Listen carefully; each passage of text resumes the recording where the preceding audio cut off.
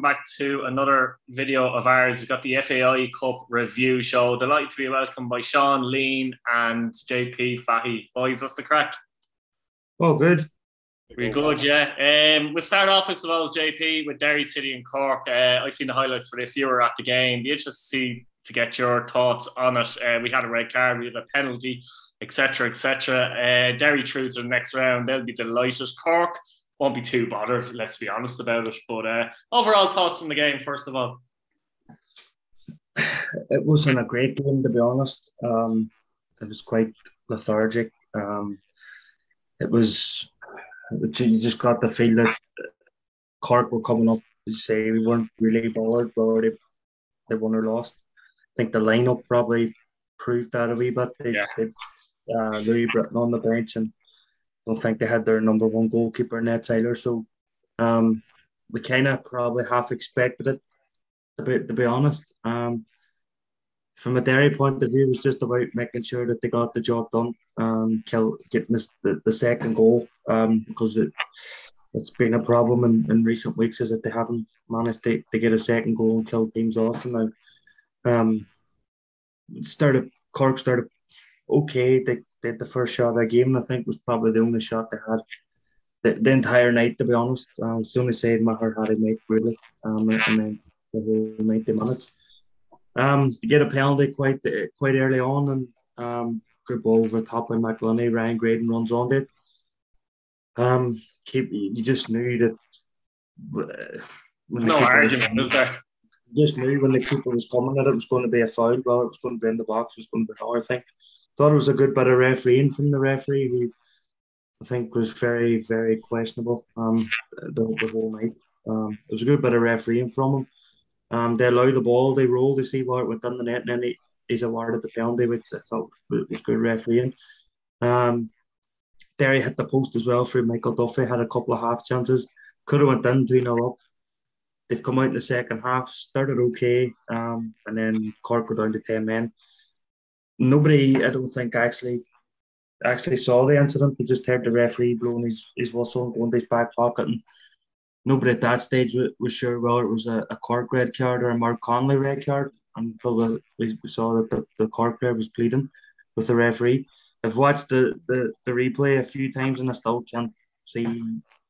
Get, I still don't see it was if it was a stamp. I don't see it being a deliberate stamp. To be honest with you, I don't see. Any, personally, I don't see anything malicious there, from what I could see. I think it's more of a case of Keating stumbling yeah, and trying to regain his footing somewhere. And if he has caught Connolly, it, it's probably accidental.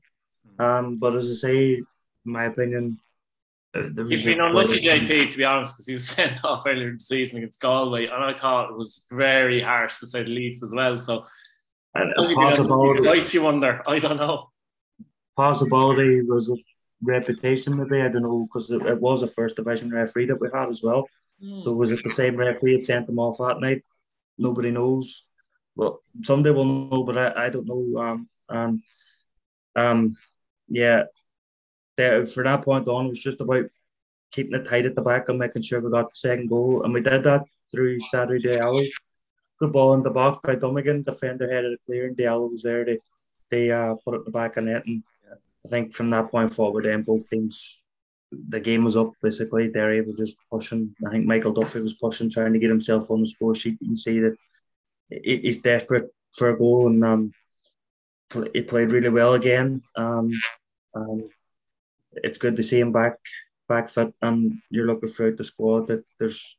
I think the only one that we're missing through injury is is um Jackie, and we know that's a, a season ender. So um, we've got a good squad there, and it, it'll all depend now on, on the draw. Um, in the in the next round, like it's a home advantage is key. Um, to the to the the FAI Cup, like obviously you can get an away tie, but everybody wants a home tie because everybody will uh, fancy their chances against any team at home. Yeah, the next round's going to get tricky. That draw is Tuesday, in case anyone yeah. is watching and doesn't know. This is Monday. We're doing this. Uh, Sean, move on to you. I'll actually move on to Galway and UCD. Finished Galway 2, UCD 3. Uh, Mikey Rowe, Hemmings for Galway, Tommy Lonergan, who's really stepping up to the plate recently for UCD. He's only 18. He was actually at Pats and uh, he's out at UCD, so he's doing well there now. And Duffy uh, with the goals for UCD. I suppose my question here in this game is uh, does this kind of show that, you know what I mean, the first division teams still have a long way to go. You know what I mean? There is a gap still with the Premier Division teams. I'm not saying there's a gap with UCD, but my point is UCD are bottom of the league in the Premier and Galway's lost at home to them. So, you know, the likes of Galway, if if they were to get promoted, would still have to do a lot of right recruitment, I think. And I suppose this result is a little bit of it points towards that a wee bit, does it, John? Um, I think a little bit, yeah. I wouldn't say majorly because I think if Galway really went for it and if Galway had a good day, they probably could have beaten UCD. But mm. um, I think it's sort of emblematic of the problems that Galway are going through at the moment. They're maybe lacking yeah. Because UCD took the lead twice before they eventually won the game, and the um, even then the goal that ultimately gave UCD the win was a, a bit of a howler from Matt Connor, which I think is uncharacteristic for him. You know, he was down here. I mean, he was always reliable on goal. Like you know, it certainly wouldn't make that kind of a mistake. Mm. Um, I think, uh, yeah, but. Uh, UCD, I mean, they're always a dangerous team. Uh, I know about that myself. Um, but uh, I, I, think I think there is a step up. Uh, you know, we're going to talk about it in a minute, I assume. But um, I'd still be wary of getting any even the weaker uh, Premier Division teams are still a good bit ahead of the stronger First Division teams. Yeah, absolutely. Yeah, I mean UCD from their point of view, it's a very good result for them. It puts them into the quarterfinals, and Sean, you might argue that um, you know, it's it's definitely getting stronger now. Like, you know what I mean? Most of the weaker teams, let's say, are out. And a lot of people might fancy their chances against UCD or be looking to get them in the draw and avoid others, obviously. But UCD obviously will uh, you know, they relish that in many ways as well. Yeah, they're always um, I mean, you know, you always think you, they're always a team that on paper you look at them and you know you might not know much about them. You say, "Oh, we can beat them," but they always give you a game, and uh, you know you know about it when you're halfway through a game. You know you're you've moved onto your fingertips because your nails have been chewed off and stuff like that. Exactly. We'll move on to Luke and Bohs. That was obviously at Dalymount Park. Uh, Bohs won by two goals to nil. Burt 32, Afolabi on 35. And I was there for this one. But uh, it's funny, we were speaking uh, in the WhatsApp group and in various other areas said there's a big gap between the league clubs and the non league clubs. And it's there to be seen. It is huge. Um, but I think Bohemians were probably the least impressive of the league clubs against the non-league clubs in the first couple of rounds. That said, uh, Lemanovic made some really good saves in this match for Luke, and especially in that second half to keep it to um, up to that point where Burt scored. There was a real sense of nervousness, let's say, around Dalymount Park, and there was yeah, you could really feel it. Like um, they did have chances before that, though. It was either Burt or Wilson missed a sitter. I'm not sure. The ball came into the box, and one of them took the shot. I can't remember which one it was, and actually hit off one of the players that was going in. So it was either Burt hit it off Wilson or either or. Wilson was actually Bohs' best player in the night, by the way. Some really good crosses into the box. Uh, not often, de- not often capitalised. But uh, he did set up Afolabi for his goal in 35. And once Burt scored, I felt like they were going to get another one quickly, and they did. But at that point, I thought this could be five, six, seven. So looking from their point of view, would be absolutely delighted that in the second half, they basically didn't concede, to be honest. And Bohs will be a little bit disappointed that they couldn't add to their tally. But at the same time, like they're through to the next round and job done. But I've seen Bohs a lot in the last few weeks, the way it's worked out. Like, you know, I've seen them, I think, three times in 10 days or something like that. And it's it's just not clicking still for me. I talked about how they've a lot of new players. It still doesn't feel right for me. Probably be Pats tonight now, you know yourself, but uh, it it doesn't feel right looking at it like and uh, the Archers in the next round, um, that's all they can do really, I suppose, JP, isn't it? Aye, like similar to the Derry in the, the previous round, you, you get Oliver Bond Celtic, and you're just thinking, just get the job done. Like never, um, forget about banana skins because we have seen down through the years that non-league teams have come and, and they've provided upsets. And I, I know way back in the uh, late eighties, early nineties, Derry were on the wrong end of a few of them. Yeah. Um, and I know there was quite a bit of a discussion on social media and in, in our group over the weekend about, about the gap between the the, the amateur teams and the or the non-league teams and the, the league teams because there is some teams that are in the uh, League of Ireland that, that are that are probably amateur, but mm-hmm. um, the, the gap is there. Um, it, and I agree with the person that brought it up. I do think that the gap should be smaller.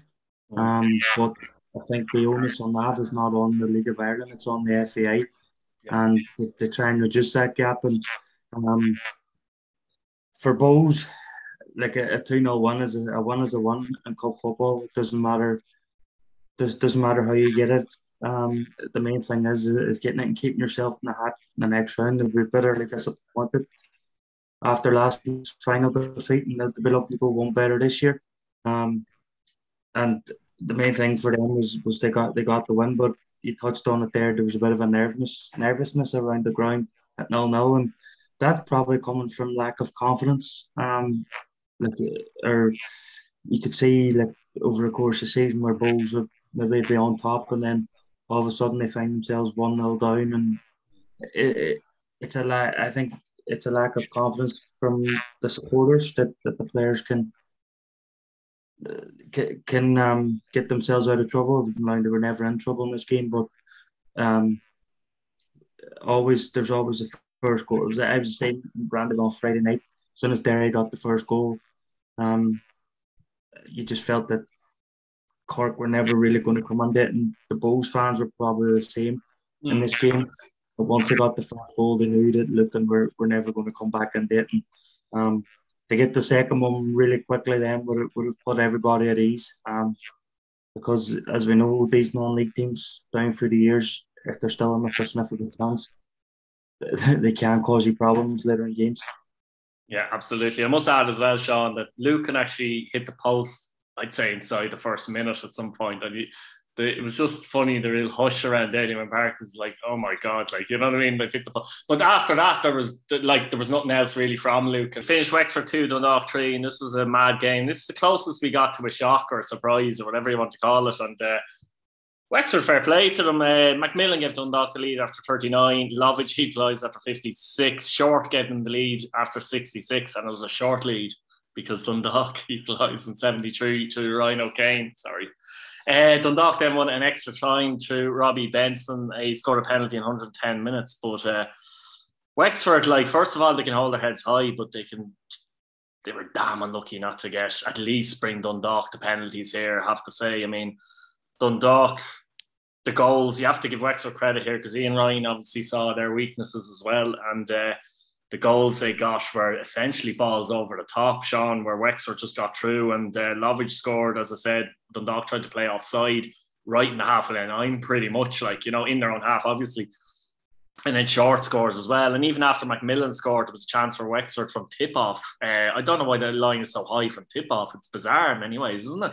But um, obvious weaknesses there for Sean, for Dundalk. A little bit of worry for Dundalk going forward they'll be delighted they got through. Wexford very unlucky though. Yeah, I think so. I think um, it, I, I, try to avoid being too negative from Dundalk's perspective for this, just because I thought Wexford did play well. They were good value. Yeah. Uh, but yeah, it is a thing that Stephen O'Donnell have to look at. You know, you don't want you, you might get away with it against the first division team, but if you get a Premier Division team, they're going to be watching this. They're going to be, you know, thinking about this uh, ball over top stuff. That um, you know, if you, if you have a good striker, uh, you know, you'll get a lot of joy out of it. Um, I, I thought I'd have worries about would they adapt to it though, because there was plenty of opportunities for them to adapt to it during the course of the game. They just didn't. Mm. You mentioned there, even after Macmillan equalised, Wexford still had Wexford still had a load of good chances uh, to make it three two to themselves. Um, uh, I thought, yeah, I, th- I thought it was um, you always kind of favor the bigger team when it goes to extra mm-hmm. time or penalties because yeah. it kick in. But um, I, I wasn't I wasn't entirely convinced that Dundalk would get the job done, and I was a little bit disappointed, even if it just means that you know, well, we have a better chance against Wexford or something. But I suppose it is as, as it is. Yeah, JP. I mean, Dundalk will be just happy to get through. To be honest, uh, tricky game. Wexford doing very well lately, even in the league. It's one defeat and eleven in the league. You know they can score goals, but uh, we've talked about this with Dundalk. We keep talking about it, but I mean the problem is still persistent, isn't it? That that high line and the way they're playing and the type of players they have while they're trying to play that high line. If Wexford can take advantage of it as well, like there's Premier Division teams that I just think I'm not sure if O'Donnell I think he might be a bit too stubborn to actually change that because I've seen him do the Pats, and regardless of the personnel, even with injuries, he still kind of played with that. Shows Connolly's organizational, uh, let's say, abilities. You know, it's no coincidence with him gone that they seem to be a bit all over the shop as well, does it? Yeah, um, because they certainly weren't passing up them opportunities in the Premier Division. Mm. Um, we played them a few weeks ago in Oriel Park, and I don't think we we tried to play on that enough, um, especially in the second half. We kind of dropped dropped in and and tried to hold what we have. And yeah, there was numerous opportunities that we had to get the ball over the top because we certainly had the pace. Um, and the, the final twenty minutes they, they exploited. We never did. And what, watching the highlights in this game, Wexford, if you're a player or you're part of the coaching staff at Wexford, you're you're you're watching the back and you're you're probably watching it with a bit of pride and how you've yeah. taken taken um, Dundalk on, but you're also watching it with a bit of regret and thinking that had gone in or that had gone in. Um, like, make no bones about it. If it wasn't for Nathan Shepherd, that game would even have went the extra time. Um, great saves, actually, didn't he, JP? The saves that he made, but he, at his starting positions as well. At times, it was on the edge of the if not the edge of the 18 yard line, was on the edge of the D, and that that allowed him to get the ball before before the striker. But I think it was was it the equaliser? Yeah. Uh, Lewis Macari tried to play offside on the halfway line, and he knew fine rightly that Jamal was off. He knew that he played him on. Yeah. But he, he stopped and he held his hand up, hoping that the linesman would buy it. That's a cop Yeah. Fair play to the linesman in that situation because it's easy. It's easy to get caught out, and especially when it um, especially when it's the underdog is going through. It's easy for the, official day then start doubting himself and put his flag up, but it was a great bit of officiating and Wexford played at a whistle and they scored and like Dundalk they they probably took the lead against the run of play to be honest with you. Per Wexford would be disappointed with the, the defending for that. They didn't stop the run, they didn't stop the crossing and the ball, but then they didn't get enough bodies around the and it was it was Rick. I think he scored from a tight angle after the keeper making a save. So mm. there was numerous opportunities to prevent it. And then, but fair play them, they didn't fold. They went and they, they took a game they Dundalk and could have very easily went in at half time on level terms. But they were so disappointed in the equaliser they conceded as well because they just allow Ryan O'Kane Kane to run and nobody gets near him and take nothing away from the kid. It's a good it's a good finish, but look. Uh, we don't think we've had an upset in the cup this year yet, and that, that was the closest closest we've come. And um, Dundalk will no doubt be, been will know that they've they've been let off the hook in this one, and they, they'll not want to pass up them opportunities in a league game because you pass them up pass them opportunities in the league game, you're going to get punished yeah, pace will kill them. We're getting to the stage of the competition where there nearly won't be any more shocks because there nearly can't be in many yeah. ways.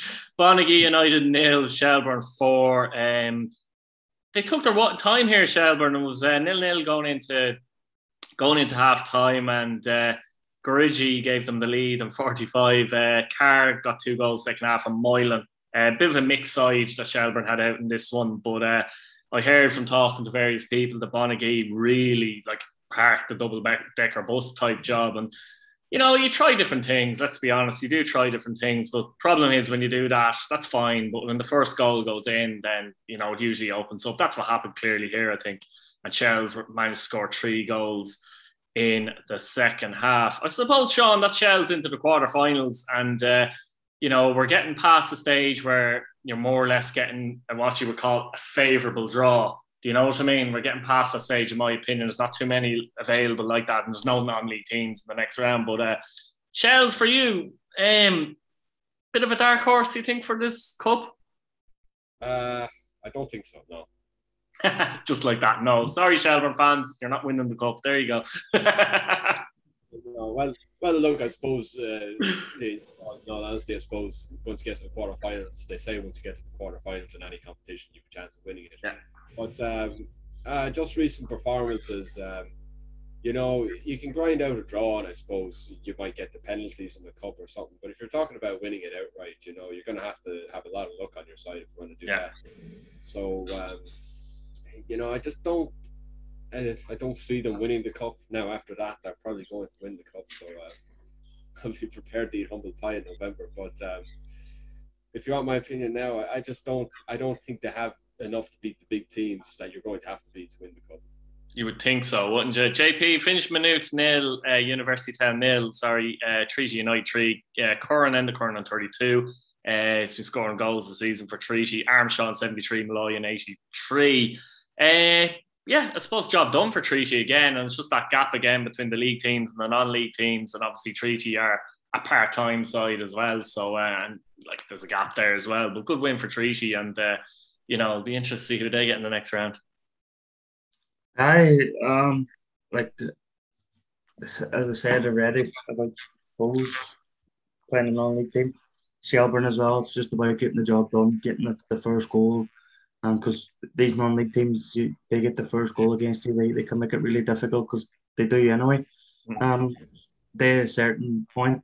Um, but I think it's been the the same throughout the the FA Cup. But once the the League Ireland team gets the first goal, the floodgates open, and um, uh, that's I know there was quite a distance between the first and second goal, but they eventually went on. They they won the game three 0 as the probably the team started to tire, etc. Um, and the the Treaty will be delighted because they're, they're still in the cup. It gives them it gives them a wee bit of focus from from, from the league as well, because they came into the league last year and put in a really good performance, got, getting into the, the playoff, and they, they'll, be, they'll, be, delighted that they're in the quarter final.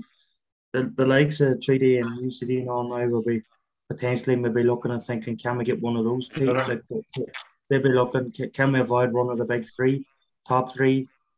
One, like it's because at the point now where you, you win the quarter final, then you potentially earn make a money spinner in the semi final. So um yeah, good decent one for for Treaty away as well, which is not easy.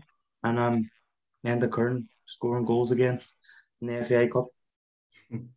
Uh, Sean, you were at Malahide, uh, Malahide nil, Waterford FC six. Now this was a big gap, and Griffin scored early. And see, this is it as well. The same where Shelbourne scored in forty five. Griffin scores in seven, so now the floodgates can open. I think you know what I mean, and it does. Idowu after nine, Wassim with two, uh, Patterson and Power. Wassim scored four goals for Waterford, and he scored a double each time. Cobh, Pats, and Malahide, I believe. Uh, correct me if I'm wrong, but uh, you were at this game. Uh, I'm guessing you saw a major gap in quality here, Sean. Yeah, there was. I mean, um, there was like a doubt for about a minute because we started a bit slowly, but once the first goal went in, got wider. Uh, I think I think there was a, a, bit of suspect goalkeeping. I think we kind of flattered ourselves a bit, but at the same time, I think Malahide would have gotten on better against a side that uh, went a bit more route one because that seemed like what they were set up to do when we passed the ball around, moved it around quickly. uh, you know, the gap really showed. Uh, ran right the first half. Then, uh, I mean, it's hard to pick think about it the match really. I mean, there was lots of great play. Uh, thought the front four, Patterson, uh, Idowu Junior, and uh, Wassim, uh, they were all really good. And um, you know, I mean, it's hard to say too much about the defense. Like they didn't have a great deal to do, but you know. Um, that, that was fine as well. In the second half, I thought we slowed up a bit. Uh, the, the, there were still chances we had now, but um, they kind of they just came about. We weren't trying to force the chances or anything like that. But I got the feeling as well that uh, what uh, what Danny Searle probably told players to do was just you know take it easy, don't get suspended, don't get injured. And from that perspective, you know that was a success. So we're happy. We're into the quarterfinals, and you know it was a comprehensive win. It was it was enjoyable now, and um, so uh, really can't have any complaints. Uh, you know, so just happy to be in the quarterfinals. Yeah, I don't think anyone will particularly get any joy of playing Waterford, drawing Waterford or the RSC either, because on their day they're uh, as good as a lot of Premier Division sides. You'd argue compared to Cork and Galway, they've more recent Premier Division experience as well in their team. So that's an interesting facet for Waterford. But yeah, great result for Waterford.